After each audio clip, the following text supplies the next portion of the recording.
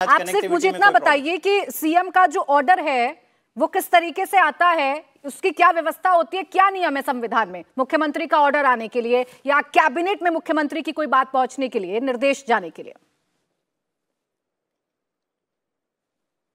देखिए cabinet meeting के ज़रिए होता है और कैबिनेट मीटिंग में स्वयं मुख्यमंत्री प्रस्तुत होते हैं या फिर कैबिनेट की फ़ाइल उनके पास जाती है। ठीक है। हम जिन चीज़ों की बात कर रहे हैं वो कैबिनेट का उसका कोई लेना देना नहीं। ये लोग बेफल हाँ। बेफालतू कैबिनेट कैबिनेट बोल रहे हैं जैसे मतलब मैं कह रहा हूँ ना शुरुआत से इनका एक ही मकसद है कि आज बेफजूल की चीज़ें बोलते रहे लोगों को घुमाते रहे।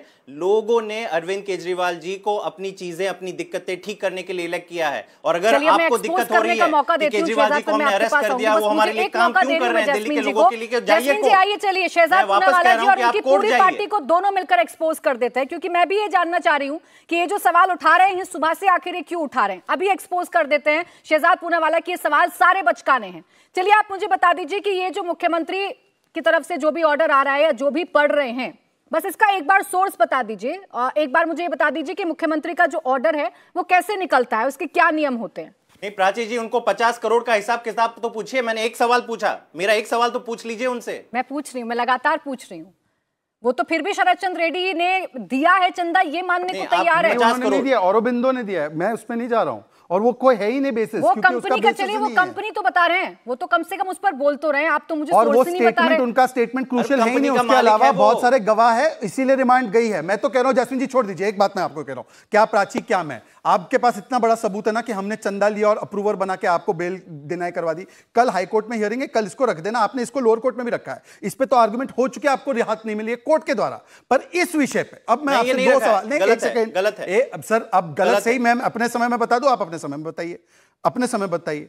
एक दिन पहले रिमांड देने से पहले एक दिन पहले सौरभ जी ने इस पर प्रेस कॉन्फ्रेंस की। आपके लॉयर्स ने इसको अपील की। आपके लॉयर्स हाईकोर्ट गए। हाईकोर्ट में भी अर्जेंट लिस्टिंग नहीं मिली। कल हाईकोर्ट में फिर से मौका मिलेगा। और हाईकोर्ट कोर्ट छोड़िए आपके तो खुद के साथी रवनीत बिट्टू और संजय निरुपम नहीं मान रहे। पर मैं अब आपसे कह रहा हूँ मैं एज ए नागरिक ऑफ़ दिल्ली मैं दिल्ली में रहता हूँ। मेरी सरकार है आपकी सरकार है आप भी दिल्ली में रहते हैं। दिल्ली की सरकार कोई गैर कानूनी असंवैधानिक काम नहीं कर सकती। आपको चिंता नहीं है कि सीएमओ कौन चला रहा है इस वक्त? सीएमओ के सबसे वरिष्ठ अधिकारी सीएम इज़ इन जेल वो टाइप कर नहीं रहे उनका एक्सेस कौन से ऑफिसर के साथ आप बता नहीं रहे? आप बताइए ना कि किस ऑफिसर को उन्होंने सीएमओ में बोला जिसने टाइप करके आतिशी को दिया और किस ऑफिसर को उन्होंने बोला जो संविधानिक व्यवस्था में जिसने सौरभ भरद्वाज को निर्देश दिए हम्म। या सौरभ भरद्वाज को डायरेक्ट बोला या सुनीता जी के थ्रू बोला। यह बता दीजिए कि सुनीता केजरीवाल अब मीडिएटर है वो सीएमओ चला रही है तो चला दे सकती है। राबड़ी जी भी बनी थी आप राबड़ी मॉडल अपना सकते उसमें कौन सी बड़ी बात है? पर यह बताइए कि संविधानिक प्रक्रिया जिसमें बहुत क्लियर कट है और ये तो सीएम बिना विभाग वाले सीएम है। ये सीएम बिना विभाग वाले खबर मैं बीच में दे दूँ जैस्मिन जी फिर आपके पास आ रही हूँ। इस वक्त एक बड़ी खबर पंजाब से मिल रही है। लुधियाना से कांग्रेस के सांसद रवनीत सिंह बिट्टू बीजेपी में शामिल हो गए हैं। रवनीत पंजाब के पूर्व मुख्यमंत्री बेअंत सिंह के पोते हैं। रवनीत बिट्टू की गिनती पंजाब कांग्रेस के तेज तर्रार और ज़मीन पर संघर्ष करने वाले नेताओं में होती है। ऐसे में उनका बीजेपी में आना कांग्रेस के लिए बड़ा झटका है। चुनाव से ठीक पहले पंजाब में एक बड़ा झटका रवनीत सिंह बिट्टू के रूप में कांग्रेस को लगा है। वो भारतीय जनता पार्टी में शामिल हो गए हैं। ये बड़ी खबर इस वक्त आपको बता रहे हैं। लुधियाना से कांग्रेस के सांसद हैं रवनीत सिंह बिट्टू, जो कि बीजेपी में अब शामिल हो गए हैं।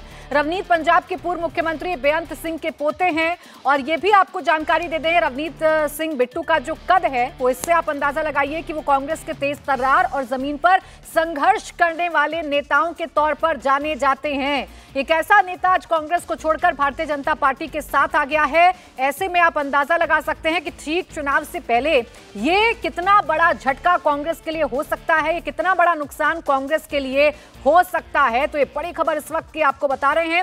एक तरफ़ अरविंद केजरीवाल को लेकर सियासी घमासान मचा हुआ है। पूरा इंडिया गठबंधन अरविंद केजरीवाल को लेकर साथ आता हुआ नज़र आ रहा है। तो दूसरी तरफ़ एक के बाद एक जो झटके हैं, वो कांग्रेस को लग रहे हैं।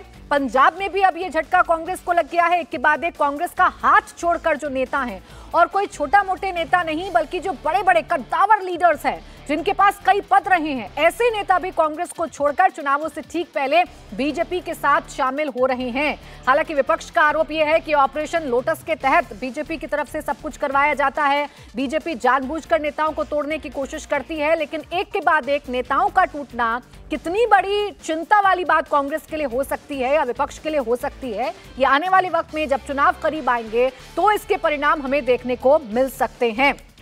तो ये झटका पंजाब में लगा है। कांग्रेस छोड़कर रवनीत, बिट्टू बीजेपी में शामिल हो गए हैं। एक बड़ा झटका लगा है। लुधियाना से सांसद हैं रवनीत सिंह, बिट्टू उधर। देखिए, अरविंद केजरीवाल को लेकर तो सियासी घमासान मचा ही हुआ है और एक के बाद एक झटके जो हैं, वो ज़रूर गठबंधन को लगते हुए नज़र आ रहे हैं।